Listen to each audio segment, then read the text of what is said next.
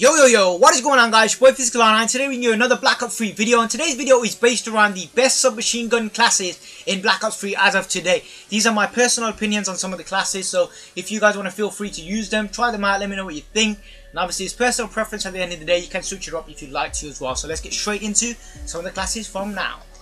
The first class is the Kuda submachine gun. I've got quick draw, rapid fire, fast mags and extended mags, four attachments on this gun. Personally, because this is my rush heavy class, I want to get into enemy spawn, get these triples, get these quad feeds, and basically step up the game and bring up the intensity a bit more with this submachine gun and just get into the spawn as quickly as possible. So my perk loadout as well is Overclock, a very very underrated perk in this game. Personally, I think this is the best perk in the game so far. Obviously, if you're running a specialist like the Purifier, the Scythe, the Tempest, the Annihilator, you're guaranteed to get it around roughly four or five times maybe in a game compared to what you would get normally if you wasn't running overclock you possibly get it twice in one game so there's a significant difference and obviously going for nuclear streaks running these um, special abilities that give you kills that contribute to my nuclear I'm gonna run overclock because that's a good thing for me to get kills with as well instead of getting it with my gun as well so it helps out both ways in that sense so my perks ain't really going to change for the first two slots. Fast stance is obviously because I'm running a sub. I need to get my aim up as quickly as possible to lock onto my enemies and get those kills. And tac mask is pretty much self-explanatory. I don't want to get concussion and all that sort of shock charge stuff whilst in my way. I don't need unnecessary bullshit in my in my class setup to get my uh, get get my kills in the game. So that's pretty much it. My class setup for that. My rush heavy class that is. Next one is the VMP. The VMP and the Kuda are kind of my go-to guns I'd say. It's depending on how my shot's feeling, I'll switch it up with both of them. But personally the VMP is my most viable SMG to use. Quick draw, grip and fast mags. Obviously running pubs, you kind of want that fast reload as well to get multiple enemies and stuff like that. Usually obviously in competitive, a lot of people like to run obviously long barrel. We've got a legendary long barrel on this gun as well. So the VMP is still a good gun with all the nerfs and patches, whatever they've done to this gun in particular. But I still think it is a still Still a good SMG I'd say. And my perks are pretty much the same. Only thing I've added I've taken off an extra attachment I've wrapped on uh, the awareness perk in this one so I can sound or a bit. But it's pretty much the same perks. Loadout not too much of a difference but hopefully guys if you want to give that a try let me know what you think. Personally I think they're the best attachments on the gun apart from long barrel if you want to run that as well. So let's get to the next one the Weevil. The Weevil's had a recent buff. And to be honest I think the Weevil you know, was decent before he even got the even buff. So if he's got buff, it's going to be even better. But my normal attachments I'd run on it is quick draw, rapid fire, and fast mags. Purely because I like to have that fast reload. Because when I'm in the enemy spawn, I don't want to be waiting around a few seconds. That few extra seconds cost me a few kills. That's how I look at it now with fast hands, uh, with fast mags, I'd say.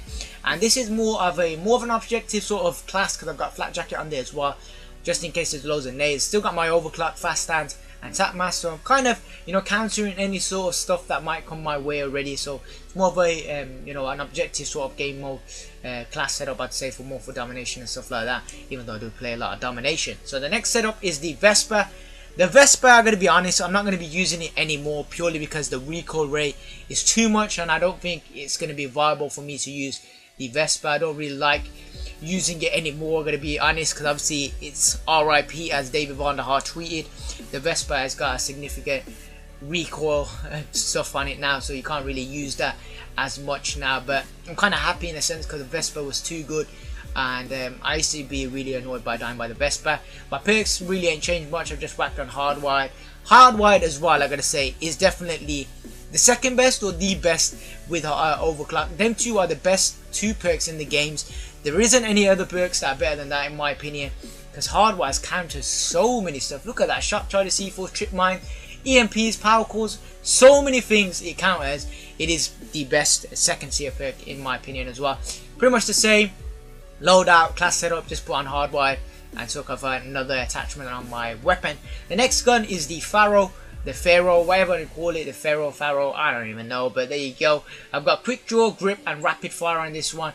The Pharo, you know, is a really, really strong gun, and it's a burst weapon, of course. I think it's a really, really good submachine gun in this game. I think that's got a recent buff as well, so we might see that a lot more, a lot more gameplays from that.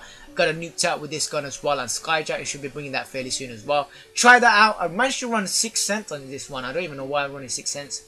Uh, but I possibly just wanted to try out. I don't know. Don't really run 6th Sense anymore. We still run it at the beginning of the game.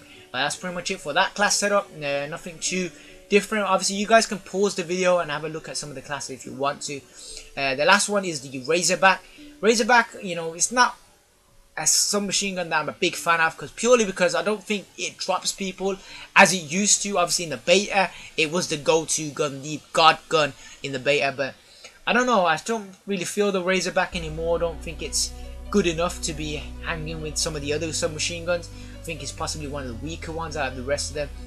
And uh, my class setup is a flak jacket, attack mask, fast stance, and um, awareness on this one. Sort of like an OBJ as well in a sense. But I've got stock on this SMG.